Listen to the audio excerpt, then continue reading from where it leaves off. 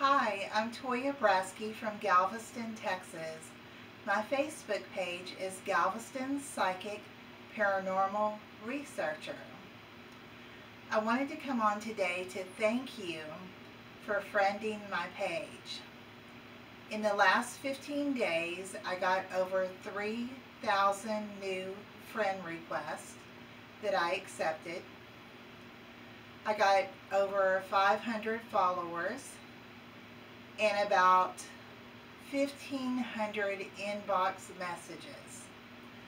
So what I wanted to let you know is I appreciate every one of you who friended me, followed me, or inboxed me. But I do need to tell you that I'm not used to this much attention at once in 15 days. And so I need to let you know that I'm working on answering your messages, but it's impossible for me to catch up with that many people in such a short time. So I will get to you eventually. I also want to tell you that this page forum is strictly about psychic paranormal research. So before you inbox me, please keep that in mind that this is a professional page. I don't mind you saying hello or asking me questions, but I don't want it to take a unprofessional level, if you know what I mean. So, there have been many people calling my Facebook number. And I want to ask you to stop doing that. Number one, my phone is always on Do Not Disturb. I do not answer those calls. I don't answer audio calls. So please do not call me on an audio call.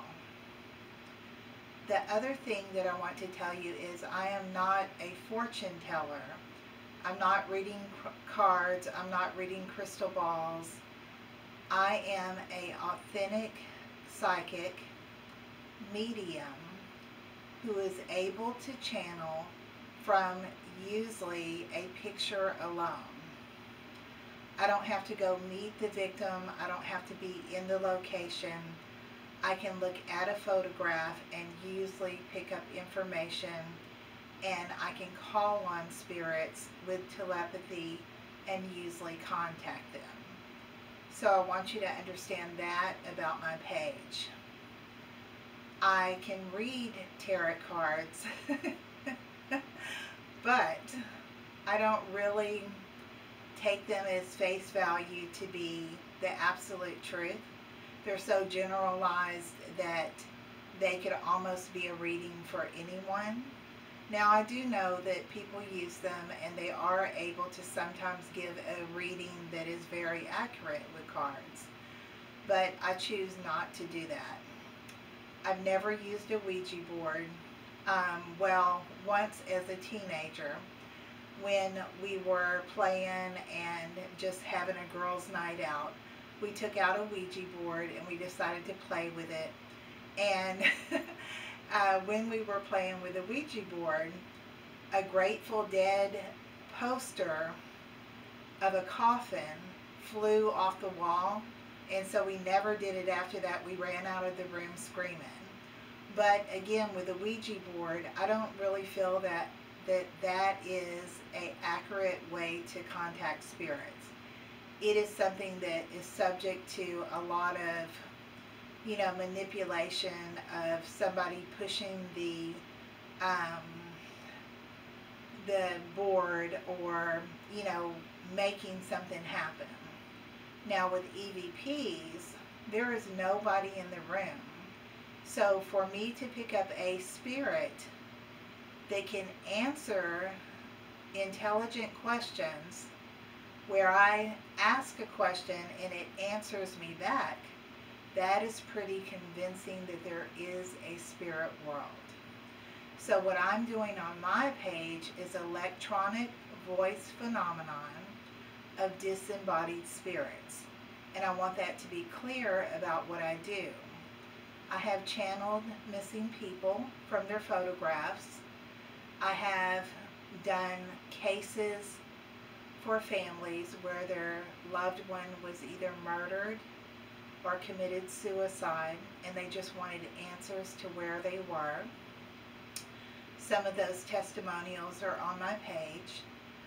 When I first began doing this, I wasn't believed at all.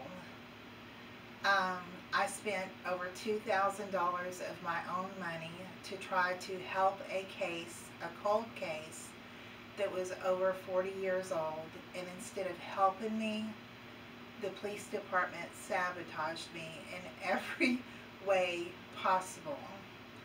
And that was really sad being that out of the kindness of my heart, I spent my own money to try to help them and they showed up and they talked over my EVPs and ruined all of the work, hours and hours and days of being out on location that could have brought them information about the case. But I can't dwell on what people believe or don't believe or the way that they've treated me in the past. I can only move forward and practice my skills and get better. So I hope that each and every person who is on my page is genuinely interested in psychic or paranormal research. If you're not, then you're on the wrong page. So I wanted to let you know that. And thank you so much. I mean, it means really so much to me that you followed me, that you friended me, that you've left me notes and commented on my photographs that I'm pretty or gorgeous or attractive. That means a lot to someone who is 60 years old. so thank you for that.